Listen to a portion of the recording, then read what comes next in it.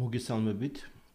აა წარმოგიდგენთ მასწავლებლის საქმიანობის დაწყების, პროფესიული განვითარების და კარიერული წინსვლის სქემის ფარგლებში უფროსი და წამყვანი მასწავლებლების მიერ დამატებითი აქტივობების, საქმიანობების შეფასების წესს. მინდა შეგახსენოთ, რომ აა ახალი სქემის ფარგლებში მასწავლებლის პროფესიული საქმიანობა პირობითად 4 სფეროთ არის დაყოფილი. კერძოდ ჩვენ ვაფასებთ მასწავლებლის საქმიანობას პროფესიული განვითარების სფეროში. ვაფასებთ როგორ აუმჯობესებს სასწავლო პროცესს მასწავლებელი მის კლასგარეშე და სოციალურ საინტერესო აქტივობებს და ასევე ძალიან მნიშვნელოვან სფეროს თუ როგორ თანამშრომლობს ის თავის კოლეგებთან. აა მოდით დავიწყოთ განხილვა თვითოული აი ამ აქტივობის თუ როგორ ფასდება ეს აქტივობები, რა საჭირო დოკუმენტაცია ჭირდება, რომ იყოს წარმოქმნილი შეფასების ჯგუფისათვის ობიექტური და გამჭვირვალე შეფასების პროცესისათვის.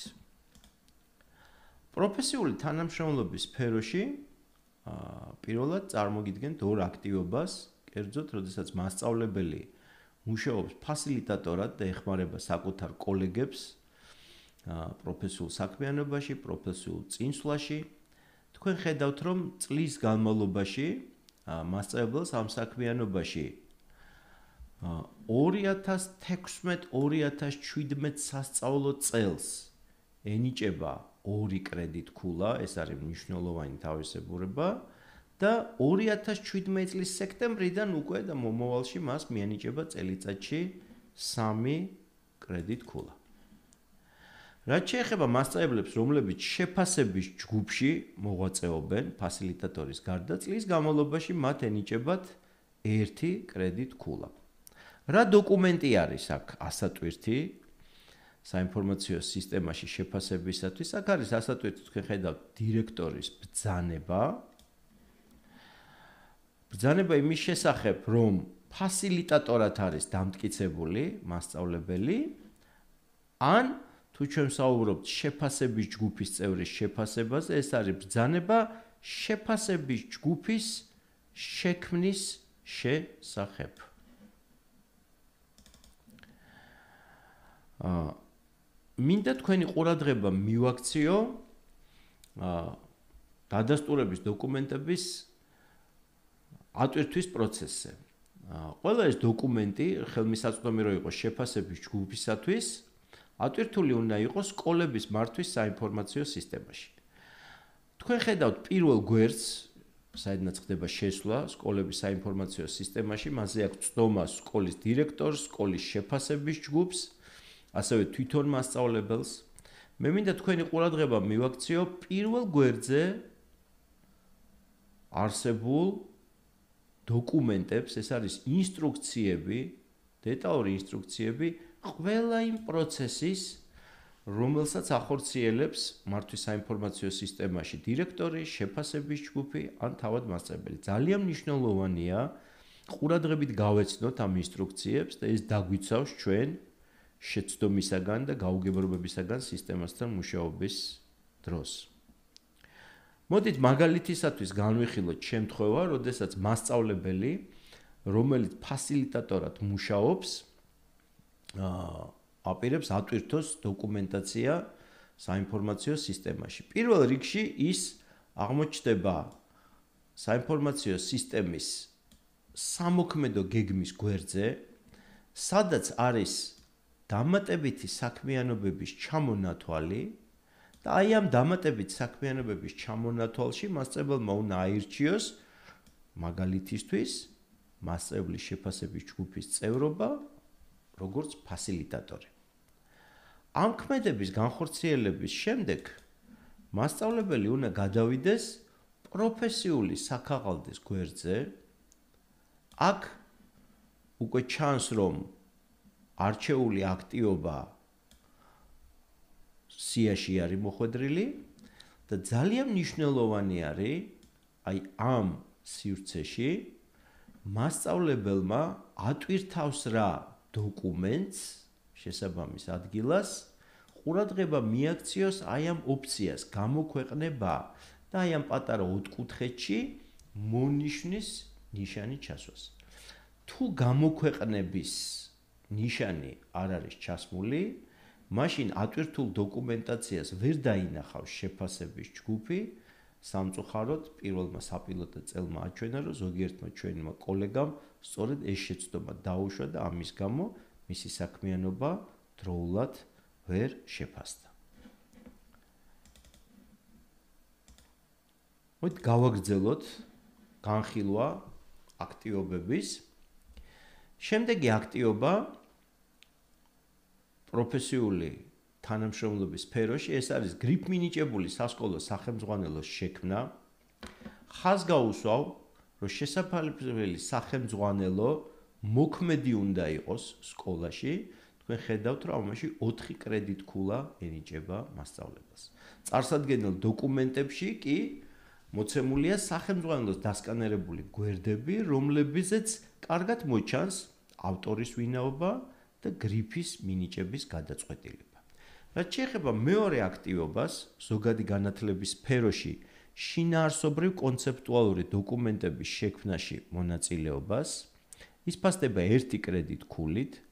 ჩვენ აქაც უნდა ვთქვათ, რა ტიპის დოკუმენტები შეიძლება იყოს მოაზრებული? ეს არის ეროვნული სასწავლო გეგმის შექმნაში მონაწილეობა, სხვადასხვა მასწავლებლის სტანდარტების შექმნაში მონაწილეობა, იგივე სქემის, კარიერული სქემის დოკუმენტაციის მონაწილეობა და სხვა მნიშვნელოვანი დოკუმენტების შექმნაში მონაწილეობა. თქვენ ხედავთ, რომ დამადასტურებელი დოკუმენტი ამ შემთხვევაში არის სამინისტროს მიერ გაცემული დამადასტურებელი დოკუმენტები მასწავლებლის სახელზე. შემდეგი აქტივობა, რომელზეც ჩვენ ვისაუბრებთ, ეს არის ჩვენი პროფესიული განვითარების ეროვნული ცენტრის მიერ ან სხვა ორგანიზაციის მიერ ორგანიზებული ტრენინგ მოდულების ავტორობა და ტრენინგ მოდულობის ტრენერობა. აა შეფასების სისტემა განსხვავებული არის, კერძოდ ტრენინგ მოდულის ავტორის აა საქმიანობა შეფასდება ერთი კრედიტ ქულით ყოველ 25 საათში.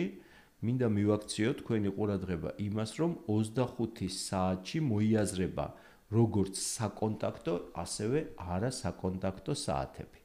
რაც შეეხება ტრენერობის შეფასებას, ნახეთ, გთხოვთ ყურადღება მიაქციეთ, რომ თითოეული ტრენინგ მოდულით ტრენინგის ჩატარებისათვის მასწავლებელს მიენიჭება 0.5 კრედიტ ქულა.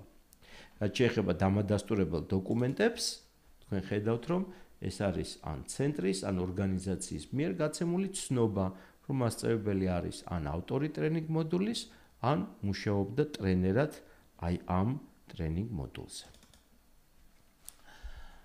პროფესიული საქმიანობის ისეთ სფეროში, როგორიც არის სასწავლო პროცესის გაუმჯობესება, სქემაში მოცემული აქტივობა დისტანციური სწავლება და აქვე სლაიდზე თქვენ ხედავთ კლასგარეშე და სოციალური საქმიანობის სფეროში ასევე მეორე აქტივობას თავისუფალ გაკვეთილებს.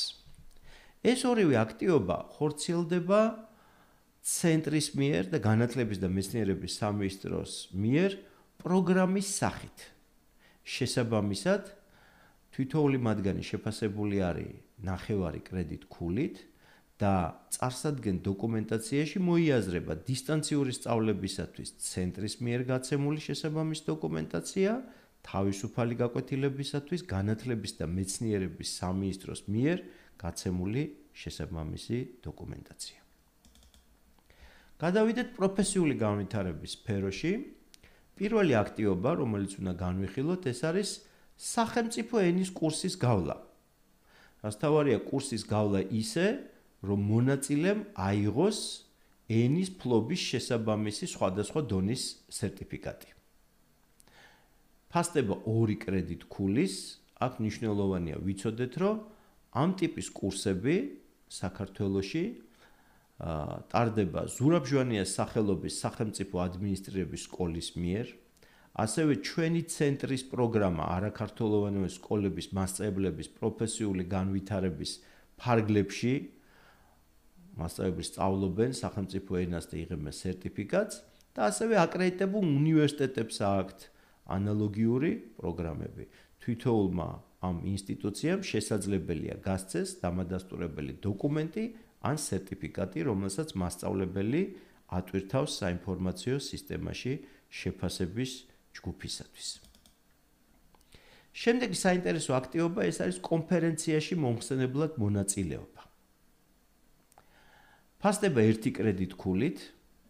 თქვენ ხედავთ რომ წარსადგენი დოკუმენტაცია არის ორი, კერძოდ დღის წესრიგი და პროგრამა, რომელშიც უნდა მოჩანდეს რომ მასწავლებელი მომხსენებლის სტატუსით იღებდა მონაწილეობას კონფერენციაში და თავად მოხსენება ან ელექტრონული ვერსია პრეზენტაციის. ვინ სიმოწყობილ კონფერენციებში იღებს მონაწილეობას მასწავლებელი? სამოქალაქო სასწავლო საგანმანათლებლო ან სამეცნიერო პროფილის საერთაშორისო ორგანიზაციების მოწყობილ კონფერენციები ტარდება საქართველოში ადგილობრივი ან უცხოური უნივერსიტეტების ადგილობრივი ან საერთაშორისო არასამთავრობო ორგანიზაციების. საინტერესო კონფერენციებს ატარებენ სახელმწიფო დაწესებულებები, სხვადასხვა მიზნობრივი პროგრამების ფარგლებში და ძალიან მნიშვნელოვანია ასევე თავად სკოლების მიერ ჩატარებული კონფერენციები. საჯარო ან კერძო ზოგადსაგანმანათლებლები დაწესებულებები სკოლები ატარებენ ესეთ კონფერენციებს. აქტივობა სტაჟირობა, ფიქრობ, ფრიად საინტერესო არის დამწყები მასწავლებლებისათვის პირველ რიგში. თქვენ ხედავთ, რომ წარმოსადგენ დოკუმენტაციაში მოიაზრება სერტიფიკატი ან ცნობა და აუცილებლად სტაჟირების გავლის ანგარიში ან რეფლექსია. საქართველოში ასევე ხორციელდება სხვადასხვა პროფესიული განვითარების პროგრამები. ამ პროგრამებს ახორციელებს როგორც მასწავლებლის პროფესიული მომზადების ეროვნული ცენტრი, ასევე სხვა ორგანიზაციები, მნიშვნელოვანი აუცილებლად თუ ეს პროგრამები იყოს აკრედიტებული ან რეგისტრირებული ჩვენ ცენტრში, აქაც მინდა თქვენი ყურადღება გავამახვილო, რომ შეფასების ჯგუფმა შეფასების დროს ყოველ 25 საათში უნდა მასწავლებელს მიანიჭოს ერთი კრედიტ ქულა და აუცილებლად გაითვალისწინოს როგორც საკონტაქტო, ისევე არასაკონტაქტო საათები. წარსადგენ დოკუმენტაციაში ეს არის ან ცენტრის ან ამ დაწესებულების მიერ ვინც ატარებს ამ პროგრამას გაცემული წარმატებით მონაწილეობის დამადასტურებელი დოკუმენტი. ეხლა მინდა თქვენი ყურადღება მივაქციო გამონაკლის შემთხვევებს, სამწუხარო შემთხვევებს, როდესაც მიუხედავად იმისა, რომ წარმოდგენილი დოკუმენტაცია ატვირთული არის საინფორმაციო სისტემაში, შეფასების ჯგუფმა უნდა განიხილოს, რა თქმა უნდა, აუცილებლად ეს შემთხვევები, მაგრამ ის ვერ მიანიჭებს მასწავლებელს კრედიტ ქულას და საინფორმაციო სისტემაში დაფიქსირდება 0 კრედიტი. მოდით ნახოთ რა შემთხვევებზე არის საუბარი.